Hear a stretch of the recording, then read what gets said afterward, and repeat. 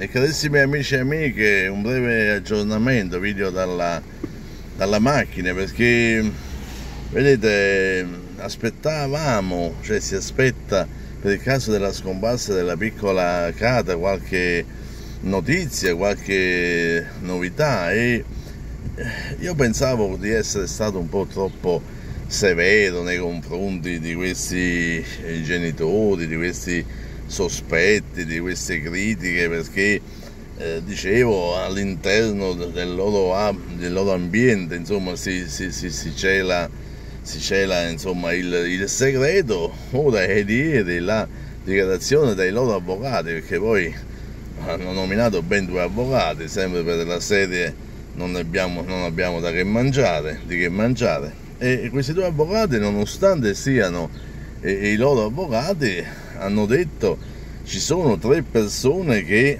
sanno tutto e si riferiscono, si sono riferiti a quella signora Rom, che pure abbiamo visto a quarto grado, si sono riferiti a quel Carlos, che è un po' il, il capo di questo gruppo di peruviani, e un'altra persona che eh, diciamo loro chiamano l'aiutante di Carlos, ma eh, io credo che, che si, possa, si, possa, anche dire che sia Abel, anche se loro non l'hanno voluto dire, e parliamo del fratello di Caterina, la, la mamma della, della piccola Cata. Cioè, se anche gli avvocati di famiglia arrivano a dire tanto, beh, c'è da pensare molto. Poi eh, hanno fatto riferimento a quello che anche io ho sempre detto, cioè a quella, quella mattina del 10 di giugno in cui si presentarono ben tre giovani eh, presso questo ex hotel a chiedere proprio di chi? Di Abel e avevano, a detta di alcuni testimoni, avevano delle intenzioni minacciose allora, che cosa gli volevano chiedere? Che cosa gli volevano dire? Non si sa, però si sa che dopo qualche ora sparisce, sparisce la bambina.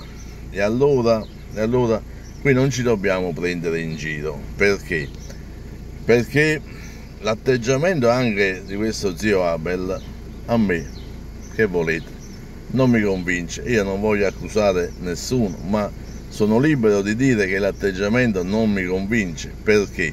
Perché questo stesso zio Abele che aveva in custodia, diciamo, la, la bambina, quando poi sparisce, la cercano e poi vanno in tv a dire a fare, lui dal primo momento non fa menzione di ciò che era accaduto quella mattina, cioè di questi tre giovani che lo cercavano, non fa menzione diciamo, delle tensioni gravissime che ci stavano all'interno di questo ex hotel. Quindi dà l'idea soltanto dello zio che va a cercare la nipote. Quindi qualcosa non torna perché si tace in questo modo e poi allora poi siamo noi italiani, vabbè che non andiamo con i castelli in mano a cercare la bambina.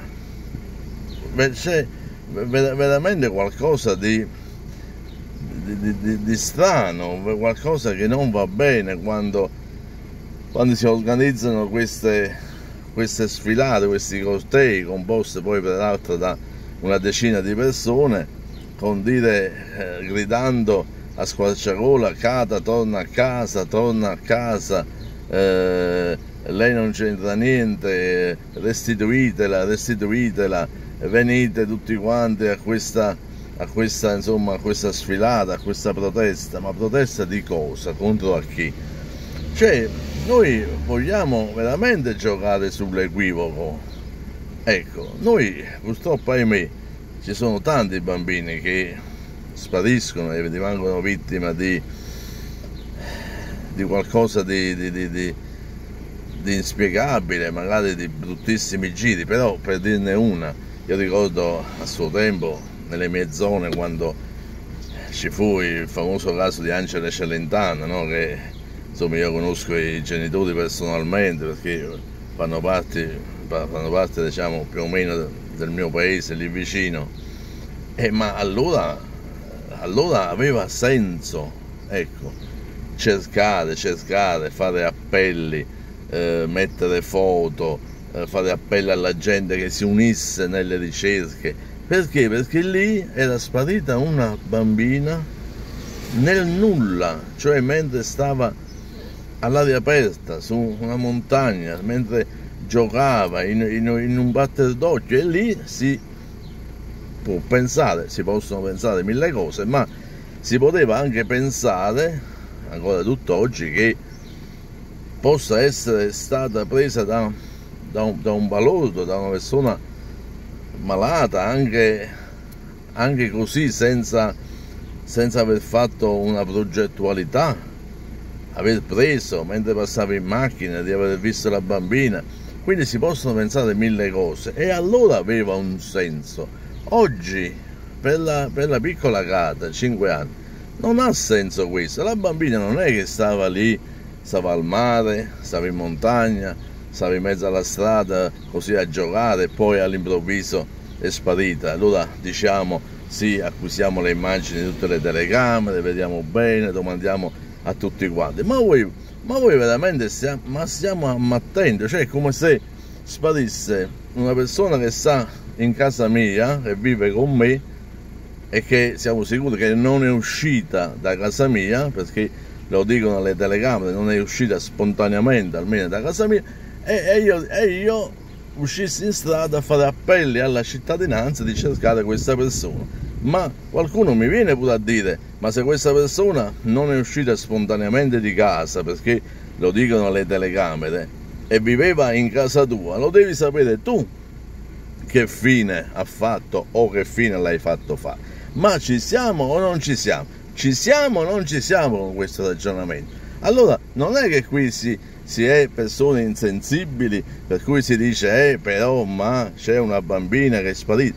Lo devono sapere loro, cioè questa povera bambina stava come se stesse in casa, cioè stava in questo ex hotel, quindi una sorta di famiglia allargata, però di famiglia di Caino Abele, direi io, veramente di Caino e Abele perché era una sorta di grande famiglia allargata in cui ci stavano alcuni nuclei familiari in lotta fra di loro, in lotta acerrima, basata su ruberie, basata sul traffico di droga, basata su soprusi, violenze, estorsioni, eh, racket degli affitti.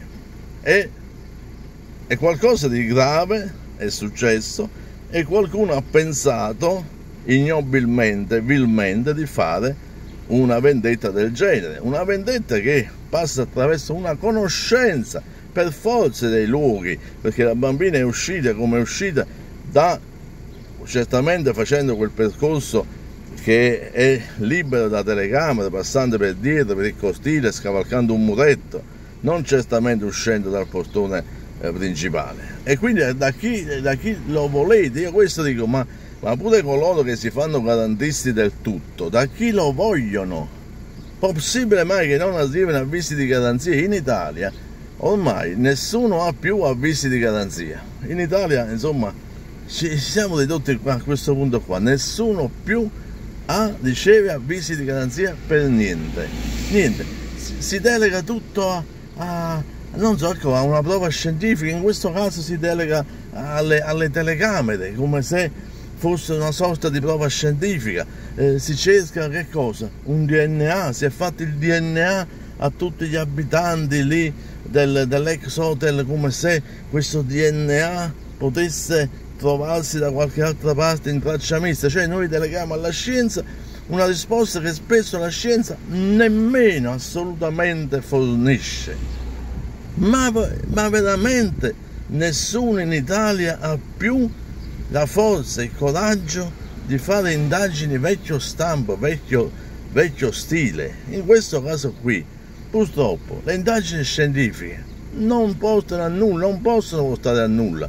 Bisogna fare indagini vecchio stile, vecchio stampo, mettere queste persone sotto torchio, veramente. Ma com'è possibile? Passano i giorni, questi giorni caldi d'estate, e viene eh, steso un velo pietoso e, e, gli avvocati che questi signori si permettono, ben due avvocati, pagati ovviamente, che anche loro stessi dicono eh, eh, ci sono delle persone molto sospette all'interno della loro comunità, anche loro stessi lo devono ammettere. Cosa vai a cercare? Cosa vai a tappezzare Firenze? Eh, delle foto della bambina, magari dice no, facciamole pure in tutto il mondo, certamente facciamolo dovunque, anche in Australia, però è da lì, da loro stessi, loro si dovrebbero vergognare del silenzio e dell'onestà e i loro stessi, la famiglia, i gruppi legati alla, alla loro famiglia, si dovrebbero vergognare di non parlare e di rendere questa questa, questa situazione una tragedia, una tragedia, l'ennesima tragedia che riguarda una povera bambina innocente. Spero che gli inquirenti veramente si diano una mossa con, con avvisi di garanzia che magari possono servire ecco, a dare una svolta. Grazie amici miei, grazie, vi voglio bene, alla prossima e un abbraccio sempre, come dico, a tutti quanti voi.